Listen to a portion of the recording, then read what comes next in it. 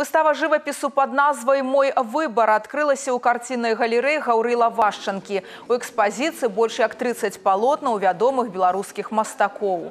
Умоўна яна падзелена на дзве зоны. У адной канцэптуальныя карціны, у другой класічныя партрэты, пейзажы і нацюрморты. У такой разнажанравай падборцы кожны зможа знайсці штосьці цікавае для сябе. Уладальнік карцін Мікалай Сінякоў захапіўся калекцыянаваннем яшчэ ў 80-е гады. Галоўны крытэрый пры выбары карцін эмацыянальны водгук у душы.